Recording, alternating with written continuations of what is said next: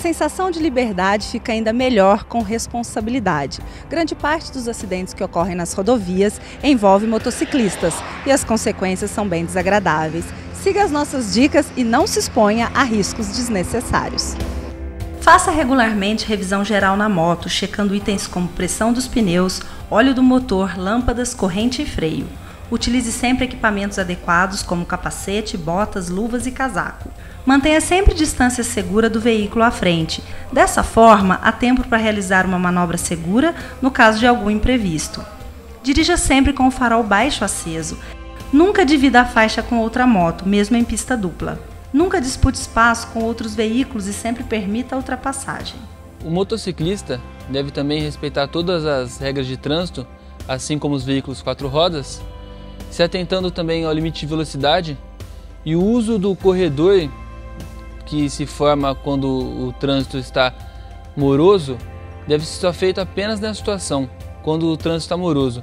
Quando a velocidade e o trânsito está fluindo normalmente, o motociclista deve utilizar normalmente a faixa de rolamento, evitando assim que possa vir a ser atropelado ou correr, correr alguma colisão contra a sua motocicleta. Muitos alegam, ao utilizar os equipamentos de segurança, que o calor é insuportável e usam tantas outras desculpas. O preço que se paga pela omissão, esquecimento ou pela decisão de não utilizá-los é muito alto. Seja responsável com a sua vida e com a vida de quem está com você e utilize sempre os equipamentos de segurança.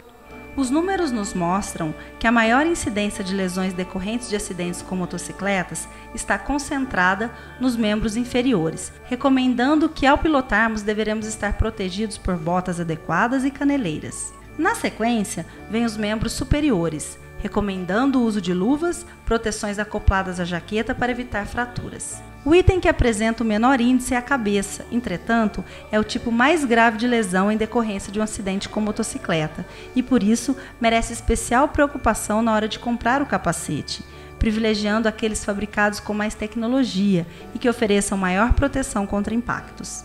Saber colocar corretamente a fivela do capacete é outro item que não deve ser esquecido. Na programação da viagem, deixe de lado a pressa e aprecie o trajeto. Compensar atrasos jamais. As motocicletas sofrem influências das correntes de ar, das instabilidades do piso e das manobras dos outros veículos. Redobre a atenção e desfrute a liberdade sobre duas rodas. Renovias, sempre junto com você.